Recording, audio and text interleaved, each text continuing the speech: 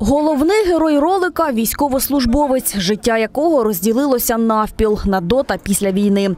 Колись щасливий побут перетворився на щосекундні страждання. Та завдяки підтримці рідних і психологів чоловікові вдається повернутися до мирного життя. Основна е, мета е, цього ролику, що після війни життя не закінчується, і е, ті наслідки, які, е, з якими стикаються наші ветерани, е, все можна подолати, якщо е, є підтримка е, в родині, якщо є підтримка психологів, якщо є підтримка суспільства. У трихвилинному ролику можна побачити, як жагу до життя повернув хлопцеві новонароджений малюк. Авторка короткометражки говорить, ідея створити подібний медіапродукт виникла ще навесні цього року.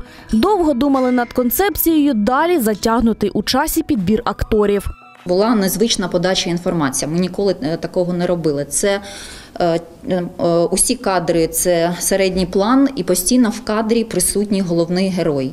Тобто, те, що відбувається, зміни в його житті, ми бачимо через фон, е, так би мовити, через е, таких е, другорядних героїв, які з'являються час від часу в кадрі. Головного героя зіграв актор Дніпровського національного українського театру імені Шевченка, атовець Ігор Кирильчатенко. Щойно відзнятий відеоролик військовослужбовці зможуть переглянути на практичних семінарах, які стартують вже 28 серпня. простим людям, які не зіштовхнулися з цим, здається, що ось прийшов, який пішов Петро, такий повернувся, не мов би.